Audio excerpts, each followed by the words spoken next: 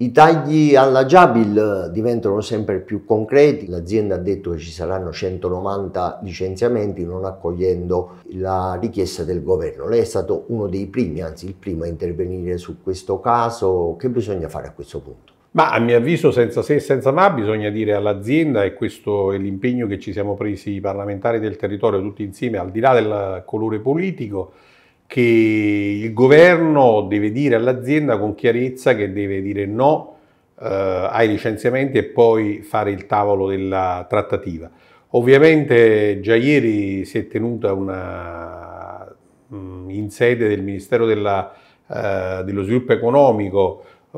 prima, un primo incontro e purtroppo non stato, non ha avuto un esito eh, favorevole. L'azienda ha continuato a dire che vuole licenziare, noi ribadiamo senza se e senza ma che non si può licenziare 190 dipendenti ancora, visto che l'azienda è scesa da circa 1000 dipendenti a quasi eh, 400, perché questo sarebbe un danno per il territorio, ma soprattutto perché penso che eh, in un momento in cui noi siamo eh, verso la transizione ecologica e la Giabile di Marcianise produce colonnine elettriche, è inspiegabile ai più il motivo per il quale noi non contribuiamo a dare una mano affinché ci sia sviluppo e occupazione sulla transizione ecologica e sulla costruzione di colonnine proprio nell'azienda della Jabil. Non ritieni che le politiche neoliberiste degli anni scorsi abbiano favorito queste situazioni così drammatiche per i lavoratori? Per quello che mi riguarda ci vogliono nuove regole eh, di ingaggio, ma soprattutto nuove garanzie che devono andare tutte a favore dei lavoratori se le multinazionali vogliono lavorare